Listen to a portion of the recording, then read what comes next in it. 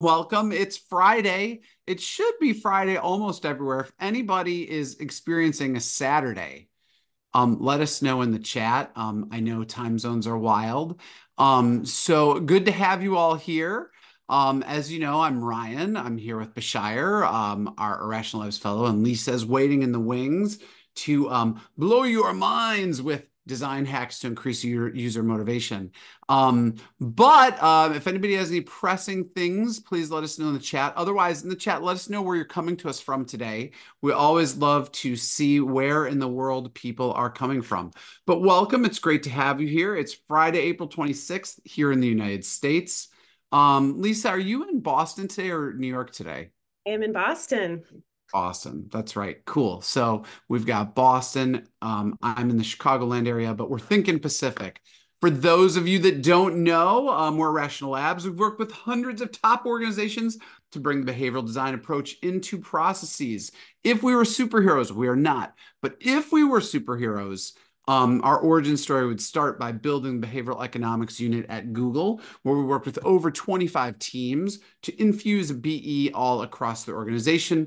We've run hundreds of experiments um, with companies. You can read about those at our case studies page. Um, I'm sure uh, we will drop that link in short order. And yes, we've trained thousands of people um, in behavioral economics. Some of the organizations we've worked with are above in the little light blue band there.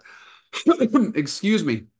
Um, there are all kinds of ways to use behavioral design and behavioral insights to innovate and grow. It starts with one product design. By the way, this is worthy of a screenshot if you're feeling screenshotty.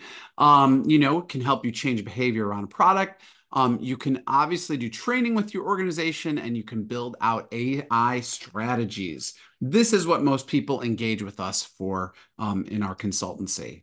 But Let's talk about the real thing. No, wait, hold on. I actually think we should talk about, should we talk about, I'm just having a moment. I feel like this slide comes before introducing Lisa.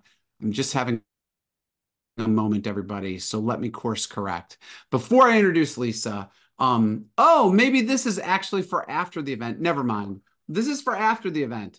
So, boom, it was correct and I was incorrect. Lisa, though, is the most correct. So, Dr. Zaval is a behavioral scientist and research consultant with a broad, huge, massive expertise in behavioral economics, consumer behavior, and social psychology. Her work has been published in an array of prestigious academic journals, including, wait for it, Psychological Science, PNAS, and Nature, colon, climate change. That, by the way, is a great article. I'll try and find it and share it. Um, and she's also appeared in numerous media outlets such as the Wall Street Journal, Forbes, and Scientific American. Lisa holds her doctorate in judgment and decision making psychology from Columbia University in the city of New York, and she has an appointment there as well, where she has taught judgment and decision making courses and research methods. Um, with that, um, you know the drill. Today, we're going to be talking about the seven product design hacks to increase user motivation. So please give up your best emojis for Lisa Zaval coming to us live from Beantown. Thanks, Ryan. I always love your introductions. That's, um, that's what I'm here. That's why they gave me the huge signing bonus. I mean, tens yeah. of millions of dollars. Yes. Yeah, absolutely. I'm gonna, I'm gonna the chat up so that I can um, engage with you all sort of while I'm giving this presentation. I'd love for it to be interactive. So please feel free to throw your questions, um, comments in the chat. Uh, it doesn't even have to be a question. It can be an anecdote, or maybe you want to hop, hop off mute and, and tell me how a particular strategy um, that you've leveraged um, and whether that's worked for your customers and how it has. So really excited to, to hear from you all kind of during this conversation. Um, and I'm really excited to get to talk to you all today about what motivates us, what drives us to action. Um, and by delving into the psychology of motivation, my goal is that you're going to leave here today with some insights that are going to help you craft product experiences and services um, that are going to inspire and engage your users, right? Ultimately, with the goal of helping um, to drive outcomes such as adoption, um, conversion, and retention. Um, and so I really want to start with the basics. Right, so human motivation can be a really tricky thing for us to corral. So just full disclosure, I probably spent about 45 minutes working on this slide and just thinking about what I wanted to say to introduce this presentation. And I just found myself getting really distracted. I was tinkering with the picture and the gradient. I was checking Slack when I didn't really need to be doing that, right? I was deciding to respond to non-urgent emails. But this, this slow pace, uh, it wasn't really out of confusion and it wasn't really out of indecisiveness, but rather truly it was just a battle with with waning motivation right and and this can be a very real challenge um, that probably sounds familiar all too familiar to all of you right so why is motivation so elusive right? Why can it often feel so fleeting? And why do we get motivated to do anything at all um, so understanding this is crucial, especially in product or service design, where motivating us users can really determine the success of a product. Um, motivation, it's not just a random occurrence, it's, a, it's vital. It's a complex interplay of our, um, our neurochemical processes and our environmental cues and our personal needs. And at its core, motivation really arises when neurochemicals like dopamine, they're surging in anticipation of something significant, something beneficial that our brains think is about to happen. And this anticipation, it's often triggered by these very subtle cues in our environment, which our brains then interpret as signals to act. And any piece of information in our environment can serve as this cue to motivate us. So how do we get this dopamine really flowing? And this is really what we're going to be covering um, in the next uh, 45 minutes or so. Um, we're going to start by deconstructing some of the more traditional views on motivation. We're going to be exploring why motivation is more complicated than the traditional carrot approach, right? And why these models around monetary incentives can sometimes fall short or even backfire. Next, I'm going to be introducing several key behavioral strategies designed to engage users. And specifically, I'm going to focus on this question of how we motivate people to take action on a present behavior that has longer term benefits that are delayed in time. And finally, um, we're going to delve a bit into gamification, which is a really powerful tool in your behavioral design arsenal and I'm going to outline various gamification strategies that can be used to incentivize users, right? Again, ensuring engagement, sustained interest um, in your design. Now, our typical assumption about motivation, it's often framed around this idea of external rewards or incentives. So our intuition is that people are kind of like mats, rats in a maze, right? Or, or Pavlov's dogs responding to stimuli. If you've ever taken any intro psych course, you've heard about this sort of classical conditioning where a salient incentives leads to a spike in our dopamine, which then triggers this desired behavior.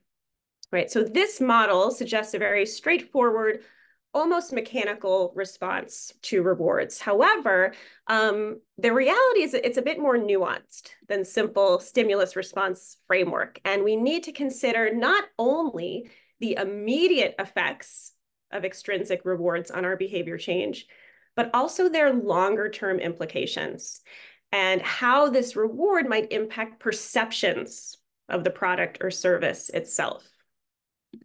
So one-time incentives, like monetary rewards, can certainly provide a temporary boost in motivation.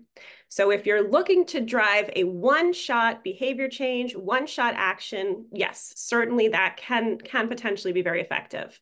However, if your goal is to create lasting behavior change or drive a repeated sustained behavior, right, or perhaps even the development of a habitual behavior, you're probably going to need to rethink your strategy. So take a look um, at these charts on the right, and these illustrate this very complex relationship between extrinsic incentives and long-term behavior change. So displayed here, these are outcomes from four different healthcare interventions. And they're showing a pretty depressing trend. It kind of looks like a, a, roller coaster ride where there's this initial spike in healthy behaviors when a monetary incentive is being offered during the intervention, right? Like giving someone money to quit smoking. And yet, over a period of several months, there's this notable decline back towards baseline behavior once the incentive is removed, right? And the authors of this of the study call this the triangular relapse pattern over time. So why does this happen? Why do monetary incentives sometimes backfire, right? There are a few reasons for this. Um, does anyone anyone in the crowd have a sense? Why why might this backfire? Not to put you all on the spot. Has anyone read any studies on this? Why giving someone money to do a task that you take away the money, why would that potentially backfire? It can decrease their intrinsic motivation. Exactly. Thank you all. Yeah. So psychologists have demonstrated that extrinsic rewards, such as monetary incentives, can sometimes crowd out intrinsic motivation for repeated behaviors. Um, and I'm going to tell you about a really interesting experiment that demonstrates this concept pretty powerfully. So I want you to imagine this. Uh, the CEO of this high tech manufacturing company um, is facing a challenge. He wants to motivate his employees to assemble these intricate um, chips more quickly. Um, and so, in an effort to boost employee productivity, he proposes this idea of a short term bonus to get them to be more productive. But the question arises what kind of bonus is going to be most effective at motivating his employees to be more productive. Um, now, in this lively work setting, a group of uh, intrepid, intrepid researchers decide to work with the CEO and explore the impact of different types of incentives or bonuses on employees' activity and productivity. And they tested four distinct incentives. One was cash, $25 bonus. Another was a family meal voucher for pizza, which equates to about $25. The other was verbal rewards. They knew they were going to receive some praise from the CEO. Um, and um, the other was uh, the option. Employees had the option to choose between money or a food voucher. So in the chat, I'm going to ask for a poll here. Which incentive do you think increased productivity the most in the immediate term? Which of the, these do you think was most accept? Yep.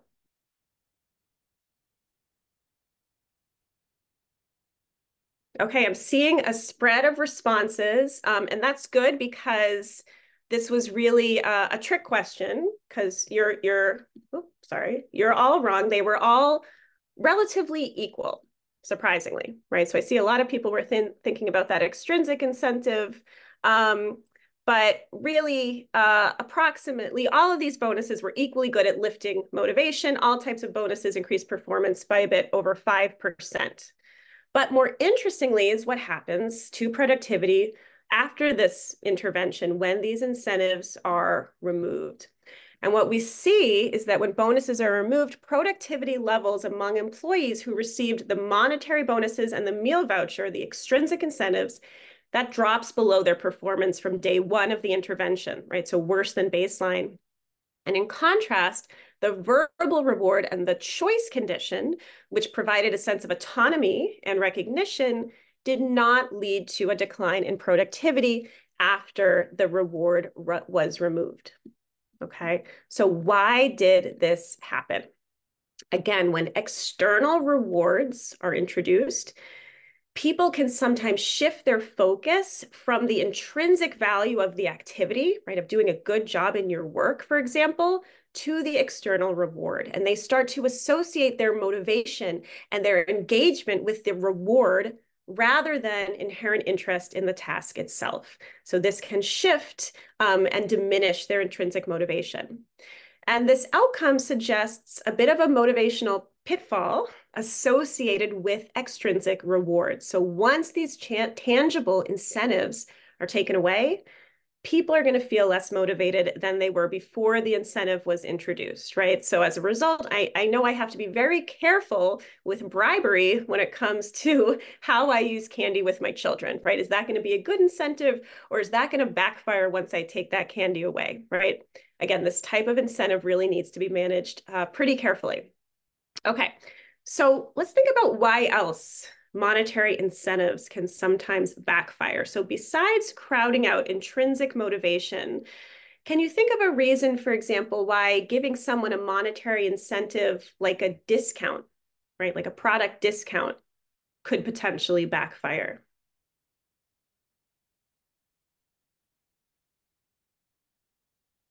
Any thoughts there? Makes the relationship more transactional, devalues the perception of the product. Yeah, Ben, that is what I was thinking about, but it does make the relationship um, a bit transactional. And that has to do with this um, slide as well. So monetary incentives in the form of deals or discounts, they can sometimes create this unwanted consequence of eroding a product's value in the eyes of consumers. And I'm going to demonstrate this interesting finding using results from another interesting experiment. So in this study, researchers invited participants into a lab to test what they were told was a new pain relief medicine. And spoiler alert, it was actually just a placebo. It didn't actually relieve any pain. And each participant received two electric shocks to set the baseline for their pain experience. And then they were given this pain relief pill to see how it would affect their perception of pain. But here's the twist half of the participants were informed that each pill cost $2.50. And meanwhile, the other half were told that the pills did originally cost $2.50, but they had been slashed down to the low, low price of just 10 cents per pill. So what do you guys think happened? Did the price impact whether people thought this pain relief medicine worked? Try to imagine yourself in this situation. Do you think this would have an impact on your perception of pain? It sure did. So when participants were asked if the pill helped relieve their pain from the electric shock, 85% of participants who were told the pill cost 250 did report some pain relief compared to about 60% in the discount group. So just a, a, extraordinary example of how effective a placebo can be, first of all. But what does this really mean for us? It's that the way that consumers perceive quality as a reflection of price can have real, actual effects on how we perceive or experience a product. So specifically, when we're going to use a monetary incentive or discount to mark something down, the perceived quality can also sometimes go down. Now, just as a, a, quick aside, there are a few behavioral strategies that we can leverage to mitigate these kind of negative perceptions, right, when offering a discount. This is a hard question, but can anyone guess what those are? What might we do when offering a discount that would reduce this negative consequence? Any thoughts while I take a sip of water? Lovely, Brian. Yep, that's one. Urgency, right? Time is running out. What else? I'm thinking about something else. Yes, Corey, exactly. Exclusivity and scarcity. Yes, or you could make it a less obvious discount. That's an interesting idea, but I'm really thinking about exclusivity. So if you say this is a special discount um, this is an exclusive discount. We don't offer that many of these discounts because this is such a special right product or service that can kind of act to counteract the negative effect of a discount. Um, also, if it's a product that someone's very familiar with and has used before, that can also lessen any negative impact of a discount. So the take home message here really is that monetary incentives aren't always a silver bullet. So while they can provide this initial boost, their effects can often be diminished when the incentive is removed, right? They can unintentionally reduce intrinsic motivation for repeated behaviors and sometimes even lower the perceived value of a product depending on how it is framed. So with these questions and these ideas in mind, I'm going to shift our focus for the remainder of the presentation to explore some non-monetary strategies, right? What are some alternative ways we can we can really motivate people to do the hard thing? Before I do, I just want to pause. Any questions or comments so far? And you can feel free to hop off mute if you'd like to ask directly. I thought Luis made a great point. Um, probably that's why Apple barely offers any discounts. Yes. Um, yeah, absolutely. I think that's absolutely true. Yeah. And there's there's probably a lot of other um, stores or organizations you know where discounts is actually something um, that's that's really prevalent, but it's okay because they're not driven by the perceived quality of their product or service. Um, so yeah, continue to feel free to to throw, to throw those comments and questions in the chat. I'm going to keep reading them and, and I can pause. Um, so now I'm going to switch over to discussing non-monetary incentives, which can really tap into deeper, more sustainable drivers of behavior. So now I'm going to just circle back to that first slide of this talk. Moments of motivation to do something hard. And by hard, I mean like eat healthier, stop smoking, learn a new language, file your taxes, make that doctor's appointment, those moments of motivation can be quite fleeting. And when we're not feeling particularly motivated to do something, we tend to procrastinate and push these challenging tasks to some indefinite point in the future.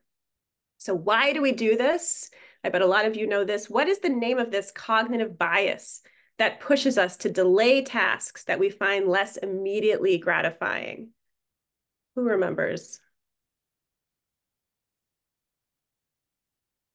Anyone know this cognitive bias? There we go. I knew you guys knew it. bias. Present bias. Yes. Anyone who's been at any of our other workshops um, shouldn't should have should have that one. Lisa, um, you, you were supposed to give cash rewards. You would have got a quicker answer. Oh, that's right. But then I thought that would stop people from continuing to comment at the next, you know, webinar that they that they go to in the future. Um, yeah, so this is actually perhaps one of the most well-known biases in behavioral economics, and it's sometimes referred to as hyperbolic discounting or myopic thinking or even procrastination. But basically, this bias shows that people tend to put an unrealistically high value on the here and now, on their present self, and an unrealistically low value on the future and their future self, right? We discount the future. And we're motivated, we're motivated by things that are going to grant that instant gratification due to present bias. And if you've ever been to one of Irrational Labs workshops previously, you've probably seen this slide before. And really, it's just showing that we're going to be most motivated by things that benefit us immediately versus anything that's delayed in time. Any delay in perceivable benefits is going to lead us to devalue that benefit. Luis, I'll come back to that question. Now you're talking about sort of um, a state trait of self-control or impulsivity, which is a, a little different. But yes, there are certainly some really interesting individual differences that impact our hyperbolic discounting rates. Someone who has a um, and, and these are measurable traits. So someone who tends to procrastinate more or has a higher discount rate, um, maybe more impulsive or less self-control, we're going to see differences in the types of benefits that that person that person needs. So yes, there are absolutely personality or individual differences when it comes to present bias that have been uh, well studied. Um, and so Instead of trying to overcome present bias, which is nearly impossible to do, right? It's really hard for us to overcome this really powerful natural instinct. Let's lean into it. So if we're trying to motivate users to do something hard now, right, like exercise, but it has delayed benefits like improved long-term health, we need to use strategies that make the results of our action feel more immediate. So next, I'm going to introduce you to three motivational strategies that are really designed to do just that. So the first involves creating a visual or a narrative representation of progress towards a longer term goal. It really helps bridge this gap between today's action and tomorrow's benefits, and it's really used to make the goal feel closer and more tangible. The second strategy has to do with artificially bringing the finish line of the end outcome closer, making it feel like the end is near. And the third type is um, the third strategy is a type of reward substitution, where we're substituting in a more immediate benefit for that longer term benefit. And I'm going to be focusing specifically on strategies from the gamification literature that provide that immediate benefit to the user. So let's get into it. We're going to start with this motivational strategy of displaying or conveying progress. So displaying progress towards completing a behavior is really crucial in motivating all individuals. And when we visually observe our progress, it provides this type of tangible sense of achievement and it's reinforcing our motivation to continue. And this is particularly important due to a phenomenon known as completion bias, which is our drive to finish tasks in order to reduce this sort of psychological tension that's caused by incompleteness. So by leveraging what we know about this bias, we can improve motivation through effective visual or communi communicative representations of progress.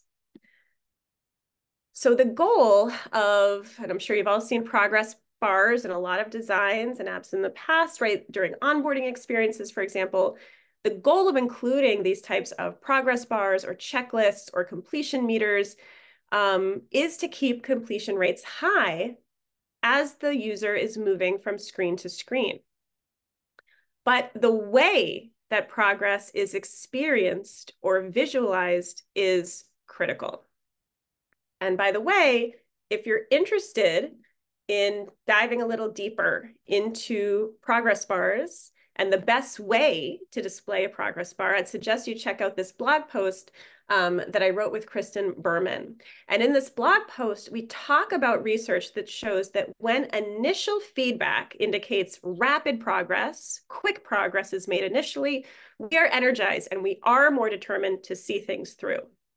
However, if the initial progress you're making is slow and it's revealed to be slow, this can lead to feelings of discouragement, causing people to abandon effort altogether, right? So again, if feedback shows slow initial progress, users are more likely to give up. Thanks, Ryan, for throw. Oh, thank you guys for throwing that in there. So to boost motivation, you're going to want to engineer an immediate sense of accomplishment for your users. So for instance, during the onboarding process, you could introduce really simple, quick wins, right? What are some easy tasks you could give your users, like a straightforward to-do list or um, a clear initial milestone, right? Provide them with a simple, easy task right off the bat um, to then help exceed their expectations of how fast this is going to be to really boost initial confidence. Um, so uh, another um, really important motivational strategy is how we frame and how we reward progress. And it's often more effective to reward users for incremental achievements rather than waiting to celebrate um, only the final outcome. Um, and this approach helps sustain motivation by acknowledging the effort and the progress, not just the end result um, of the um, of the action that the user is taking. And Noom does this really nicely, right? So this is a popular weight management app. And you can see they use a system called Noom Coins to reward their users. However, instead of only rewarding their users when they reach their target weight, Noom awards these coins for actions like just taking a regular weigh-in or achieving this very small progressive milestone. Okay, so again, this method of rewarding incremental progress rather than just the final outcome is going to help keep users engaged and motivated in this example through their weight loss journey. Now, there's another really interesting way to reward um, continual progress. Um, it's a popular gamification strategy, and that's by motivating users to complete a streak. And this approach motivates users to take this small, continuous step towards the larger goal. So the idea being that each day, for example, that a user makes progress by maintaining this streak, they're going to build momentum, staying motivated. And it's really this thrill of not breaking that streak that becomes a powerful driving force. And I just want to show you quickly results from an interesting study to just drive this point home about how effective continual progress can be to motivate us. So this was an interesting research study. Um, imagine that you're a participant in this study and you're told you're going to just be sitting at this computer for 20 minutes. And while you're just sitting there and you're just earning your participation fee that you're paid, you're told that you get to choose what you do on the computer while you're sitting there. And here's your choice. You can either complete a bunch of captchas while you're sitting there, which is um is anybody else having an audio issue? Hello, hello. No, I'm good. It's just Oh, you. I- It might just be me. You're back. Okay, I thought that was a, a test of some kind. Good, good. Um, I thought you were really uh, comfortable with this research study here. Um, so yeah, so you can either sit at the computer and complete a CAPTCHA, which is very boring, or you can choose to do something a little more fun. You can watch some funny videos.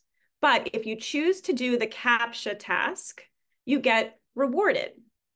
And each time you complete this boring CAPTCHA, you get a bonus of 70 cents. So you could complete the CAPTCHA, get 70 cents, then watch a funny video, complete another CAPTCHA, watch another funny video, complete another, CAPTCHA, and you're, and you're getting these bonuses of 70 cents. Fine. But some participants are put in a different experimental condition called the streak rewarding condition.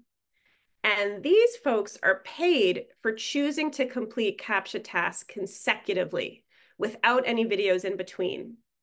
And they receive a lower reward for the first CAPTCHA they complete, and then a higher amount for the second and the third CAPTCHA they complete in a row. But if they break this streak and watch a video, they return back to that lowest amount for the next CAPTCHA task.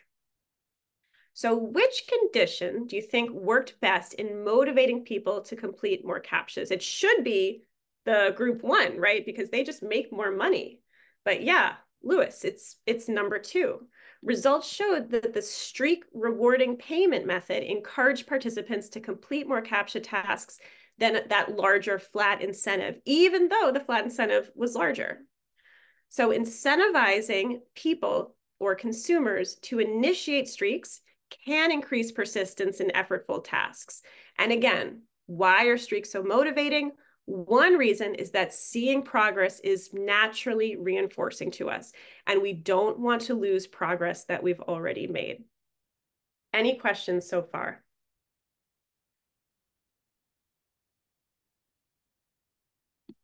Sandra, number four and five CAPTCHA, what was the 70? Do you want to hop off mute and ask your question?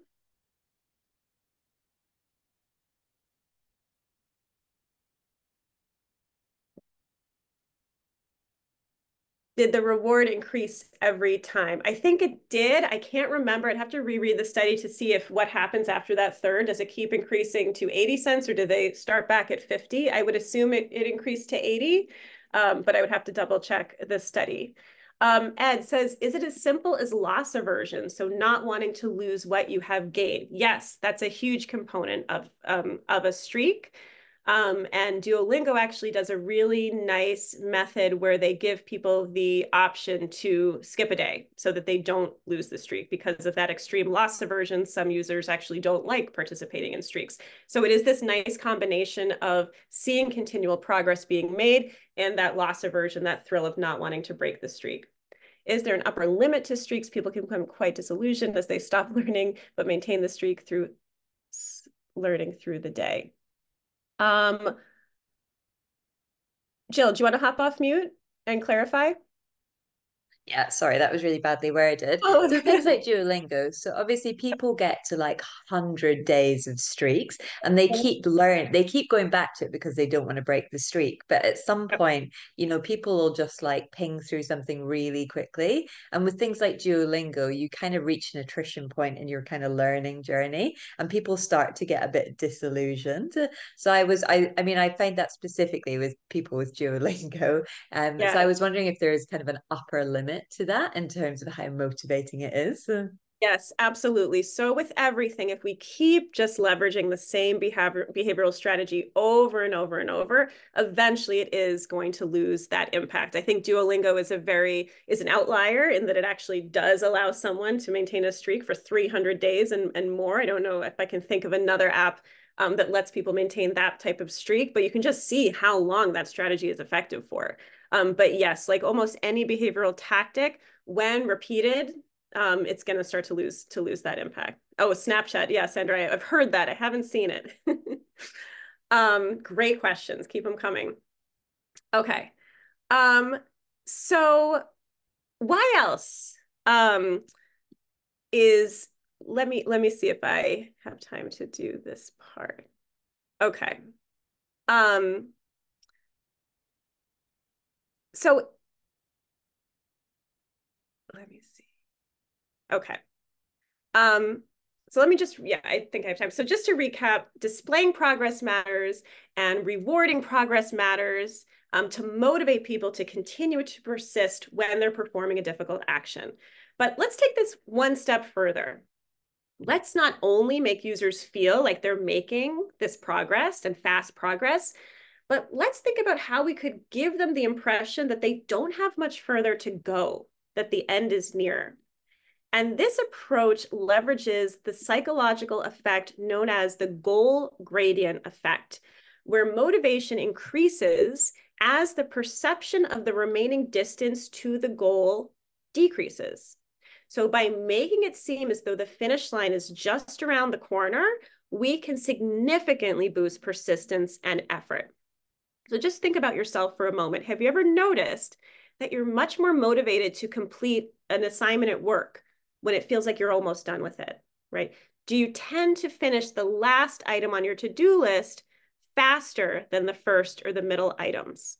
And if so, you're not alone. This is a tendency, again, the goal gradient effect. And this effect shows that people will work harder and accelerate their behavior to achieve a goal as they get closer to reaching it. And when feedback shows that a user only has a few steps left, they're more motivated to power through. And this is why, for example, it's much more effective um, if you're designing, again, an onboarding flow to move a very complicated task for the user towards the end of that flow rather than place it at the beginning. And this also leverages a, a bias known as the sunk cost effect. And one study that really showed um, the power of goal proximity on user behavior um, is one that was done using Kickstarter, right? So in this study, researchers analyzed data from 10,000 different Kickstarter crowdfunding projects. And they wanted to figure out what factors of a Kickstarter project are going to impact whether or not people decide to donate to it. And they looked at the impact of seven key variables of Kickstarter projects. So one was the percentage of the goal was funded, how much was left to go. They looked at goal size, they looked at days in the funding cycle, how much early support they had, social influence, total backers, um, com competition, what other projects were there, um, and, and, and how many funders there were, for example. And what they found was that the factor that had the greatest impact on giving was percent of the goal that was already funded. And people were much more motivated to help and donate if they believe that their contribution is going to make a tangible difference. So take a look at this figure for a moment, right? People are more likely to donate when they perceive that the end goal is within reach, that their actions are going to really make that difference. So just look at the number of backers, for example, who are donating when the project is close to 99%. And we see this tactic used a lot um, in charitable giving, especially, right? So um, let's think about how we could translate this into product design. So for example, when feedback shows that a user only has a few steps left to do, right, they're going to be more motivated to power through.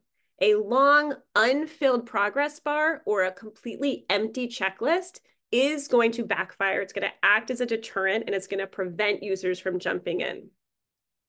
A related strategy to making the finish line um, feel closer, by the way, is to break. Um, I think someone asked, how do you hack this? If you have a really big task, it's best to break it into smaller tasks or smaller mini milestones so that the overall finish line doesn't feel so distant, right? So they, they feel like they're reaching the end of a goal more continuously. So here's a really interesting um, strategy. This is one of my favorite strategies in behavioral science, I think, to make the finish line feel closer. It's a great hack. Uh, great hack. So imagine you're visiting a brand new coffee shop down the street in your town or city, and they give you a loyalty punch card. I think we've all we're all familiar with these. And it, the idea is buy 10 coffees and you get one free. But now imagine that they give you they give you a different loyalty punch card and there's a subtle design tweak here. You still have to purchase 10 coffees to get one free, but now you get two holes pre-punched, right? The number of coffees you need to purchase looks like it goes up to 12, right? But it seems like you've already made some initial progress, right? So which version of the card do you think is going to be more motivating to buy you for to get you to buy the coffee? Really think about yourself in this situation. Yeah, right?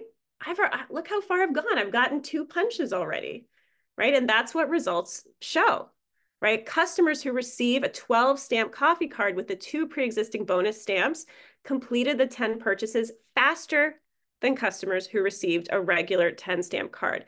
And this is a great example, by the way, of our, what we call our irrationality, this type of bias, right? Because rationally, these are both exactly the same, but we're leveraging what we know about human psychology and what motivates us to change and drive our behavior. Um, and this particular effect, what I just showed you, of giving someone a sense of false progress, um, behavioral scientists refer to this as endowed progress, right? And it's this idea that if you provide some type of artificial advancement towards a goal, a person is going to be more motivated to complete that goal. And the strategy also taps into, again, the psychological principle of sunk cost bias, where um, users tend to be very hesitant to abandon finishing a task if they feel that they've already invested some effort into it using like the foot in the door technique right? So sometimes our psychology can be a little too invested in not wasting what we've already put in. This is another reason why endowing someone with some initial progress is going to be a super effective strategy. Um, and just one example of how we might leverage this concept of endowed progress in everyday um, product design the best onboarding um, processes that I've seen provide users with some sense of an artificial head start. Um, so this is Evernote, and on the Get Started page, Evernote has already shown something as being crossed out for me, right? I already created my first note, right? So I, maybe I already signed in. I already engaged in the free trial, right? We never want to start showing the user that there's a blank state ahead of them. Okay, so to recap, feeling like we've made fast progress motivates us. Knowing that the end is in sight motivates us. Another way, very different way, to lean into present bias and to try to tip the scales in favor of our future self is to replace long-term delayed benefits with ones that feel more immediate to us right? We can be motivated to overcome procrastination when offered an immediate benefit or an immediate reward. But again, we don't necessarily need this benefit or reward to be extrinsic or monetary in nature to drive action. And instead, I'm going to be focusing specifically on different types of gamified in, in more intrinsic incentives to make that benefit feel more immediate. Um, but before I get into this, I do just want to mention Uh, gamified incentives, while they're they're fun and they're exciting, they're not effective on their own per se. But different game design elements and tactics can be used to help amplify some level of pre-existing motivation um, to help sustain our engagement to take action. Okay. So research in behavioral science suggests, and this is, I'm just really want to go a little deeper into the, um, the mechanism for why these gamified techniques are so effective. Um, research in behavioral science suggests that many game design strategies work to motivate us because they actually reward very specific basic human needs. Our need to resolve uncertainty, our need to feel competent, and our need for social belonging. So let's start with this first need. So people tend to be motivated to seek information that fills gaps in their knowledge or their experiences. We possess this natural inherent desire and instinct to resolve feelings of uncertainty, even if we expect a negative outcome. So let me demonstrate this for you using a, another pretty extreme example that also involved electric shocks. Um, so in this study, college students, participants, they came into the lab and they were shown electric shock pens that were supposedly left over from uh, a previous experiment. Maybe it was that experiment on the on the pain pill. And they were told that they could click the pens just to kill time while they're waiting for the real study to begin. And the pens were color coded. Um, the red pens, they were told, were going to deliver a shock. Other participants in a different experimental condition, however, they saw 10 pens that all look the same, and they were told five of these pens have batteries and five don't. Okay, now if, if you want, you can feel free to click around these pens and kill time before we start the real study. And in this case, in this condition, the outcome of clicking each pen was uncertain. Yes, so which pens do you think got more clicks? If you were to watch these students, how do you think they're gonna behave, right? Students in the uncertain condition clicked noticeably more pens. Yes, Ed, there's a lot of electric shocks in this research, pretty extreme. I, I don't know how it got IRB approved, but it did, yeah. So Curiosity reigns supreme as this very powerful driving force to motivate us. And it's this very curiosity that we can harness to create these more captivating, engaging user experiences, right? And we can be, go beyond clickbait as a, as a means to leverage curiosity, right? Clickbaity, um, but it is can be very effective in messaging titles and headers, right? If you can raise a question in, in the mind of your users and then answer that question. Um, another common way to leverage curiosity, for example, is using locked content, right? Oh, I don't know what's behind the lock. It's blurred out. We're going to have to take action to see. So by strategically crafting these types of elements, we can really try to pique user interest and entice their motivation naturally um, to want to learn more. Um, but also, by the way, humans tend to be particularly curious to learn more about ourselves, right? We love to uncover information about what makes us special and unique. And this innate curiosity can be a very powerful tool when designing personalized products that can cater to that curiosity, right? Whether it's fitness or fashion um, or finances, right? How can we show users that we're going to help them discover more about what makes them special, right? And it can be as simple as um, you know, listen, what is your listening personality, right? Learn more about how your electricity use compares to your neighbors, right? Or, you know, you can think of myriad ways that we can kind of leverage people's natural desire to learn more about ourselves to drive action. Okay, so let's dive into another intriguing aspect of human motivation, which is this burning desire to feel competent. And this concept of competence also encompasses our, for, uh, our desire for what's known as self-efficacy, self-confidence in our ability to tackle tasks um, that bring forth desirable outcomes. So just think about yourself for a second, right? When you truly believe in your capability that you can complete a task successfully, you are going to be more eager to jump right in and dive into that challenge. And gamification has proven to really be a, a game changer in boosting and building confidence. So we've already talked about a few strategies to build user confidence, by the way, right? Displaying fast initial progress is one to really boost initial confidence. Building a successful streak is another. And another prominent game design tactic um, to display user competency, um, you've probably seen before, it's in the, the use of badges, for example. So Uber does this really nicely. This is one of my favorite examples. Um, so this is how um, Uber drivers could, could uh, this was a year ago, I think, so I don't know if this is currently how they're shown.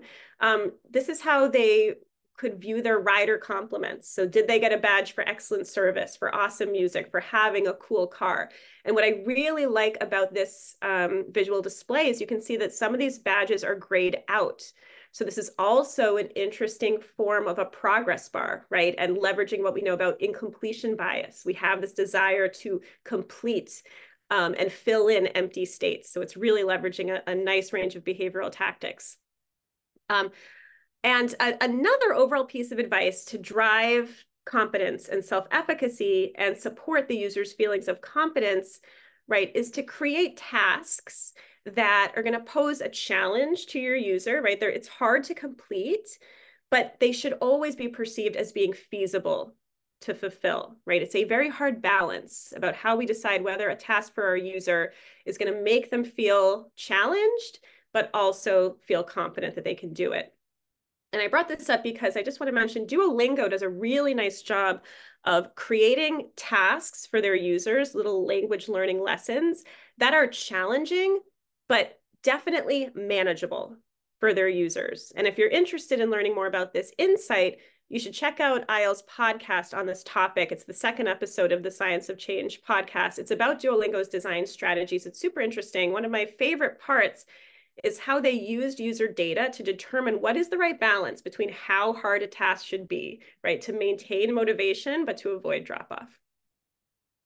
Um, now, another way of fostering competence, by the way, is providing constructive and meaningful positive feedback. And this is different than just displaying progress. We can support feelings of confidence by integrating positive feedback mechanisms that positively inform users about their progress and how well they're doing. Um, and again, ideally, we're designing feedback loops that are timely, that are immediate, and that are rewarding progress versus just the final outcome, right? The final aspect of um, human motivation that gamified strategies can really leverage involves our inherent need for social belonging. And the entire field of social psychology of social psychology is really based on this idea that inherently we are influenced by the behaviors and the actions of those around us. And gamified strategies have this great potential to address this innate natural need for social belonging by incorporating gamified social elements into product experiences, right? You know, products can integrate features that let, let users connect, to collaborate, to compete, right? Again, to tap into this desire for social comparison, knowing that we're keeping up with the herd, right? So let's start with this idea of, of comparison. This is a really interesting finding from psychological research to support just how much we're driven by norms and social competition. So imagine that you're part of a group of people who enjoy running. And it turns out that you see that a lot of your fellow runners just decided to run for an extra 10 minutes, right? Knowing this will motivate you to increase your own running time in this experiment by 5.3 minutes. But what's even more fascinating is this effect is strongest when those peers who ran longer used to be less active, right? It, used, it creates this contrast effect where really you perceive yourself as falling behind in comparison to your to your peers. And this is really motivating to drive behavior change. I'm going to skip this last study um, to show you just some more concrete examples of, of social belonging. Um, so you know how can products and services really leverage this insight bring it into fruition? This is a really nice example um, that moves beyond social competition. This is Headspace, a meditation app. Right here's just an example of how they're facilitating collaboration and social support. Um, you know, Headspace shows users who else has logged in that day, and it's giving users the ability to nudge others to get going. Right, this is similar to Peloton's um, high five feature if you've ever used that. Um, and importantly, I want to stress that we tend to be most motivated by the behaviors of those who we identify with. So in this example, Noom is using a very tailored form of social proof, right? The user has already indicated their age um, and their gender. And now we see that Noom is tailoring their onboarding experience to offer insights about those who share your gender and age group to help motivate someone to sign up. So different game design elements can trigger different motivational outcomes. And by tapping into these different human needs of curiosity, competence, social belonging, we can create these meaningful experiences that not only motivate users, but that can really capture their attention in enjoyable ways, right? Beyond just extrinsic monetary incentives. So with gamified rewards, we're motivating immediate action and effectively substituting immediate rewards like feeling social belonging, resolving curiosity for a reward that is delayed in time, like having uh, being healthier, right? Saving more finances for the future. So um, to sum up, I, I have a few minutes. Um, today, we've delved into some of the various psychological drivers that motivate us to action. And a reminder that we explored several strategies to counteract present bias by making the future feel closer. Right? We explored several of these strategies, displaying progress in a way that highlights rapid advancement, focusing on rewarding progress rather than just outcomes, creating perceptions that your goal is within reach, and providing this sense of early endowed progress and fulfilling these basic human needs for curiosity, competence, and social belonging, right? And I think understanding these mechanisms a little better can really be used to help us design more effectively and deliberately um, in order to really leverage those to motivate true behavior change. Whew, okay, I did it with, with two minutes to spare. Um, I'm sorry I don't have too much time for question, but I do um, have my email up and I am happy to, to chat with folks if you have a really specific question about a user experience you're engaging in. Um, Ryan, let me let me turn it back to you. I'm sorry I didn't wasn't able to leave as much time as we wanted, I think, for questions at the end. Lisa, it's absolutely okay because everybody's going, you're going to have hundreds of thousands of emails tonight. You're not going to sleep because everyone's going to be like Lisa at irrationallabs.com. They're going to drop incredible questions. It's going to be so torrential, your email inbox, that you're going to have to voice note everybody back. That's what I'm predicting. So get ready. Okay. but in the meantime, thank you everybody for joining us today. And thank you, Lisa. A round of applause for her. I always love her presentations because, Lisa, you do such a wonderful job of anchoring in all this incredible resource re, uh, research while giving us great resources and ideas for ways that we can kind of enhance our own products our own projects, and even prod our own loved ones um, in fun and motivating ways that don't involve cash incentives. Um, so uh, it was just wonderful to see all that today and to see everybody's engagement in the chat. Speaking of chat, um, as you did see, I did put in the chat our kind of end of workshop notes, but let's definitely keep hanging out. Our next event is um, Friday, May 24th with Isabel McDonald. Um, she's going to be talking about pricing. Um, so that's going to be the exciting open event for next month. And then, as I put in the chat, if you want to collaborate with us, please reach out to Amy at irrationallabs.com. She's our head of business development. You want to stay in the loop? Most of you are probably on our newsletter, but if you aren't, that's the URL there. And um, people love Kristen Substack. It has grown exponentially over the course of the last year. Um, and if you haven't checked that out, the teardowns are always a massive hit. So definitely uh, make yourself get on that stack ASAP. In the meantime, we'll see you all in May. We hope you're having a brilliant spring for those of you in the Northern Hemisphere and that everybody's staying out of trouble and that you remain intrinsically motivated um, into the foreseeable future because I'm not giving cash incentives um, this month. So take care, everybody, and thanks for spending your Friday with us.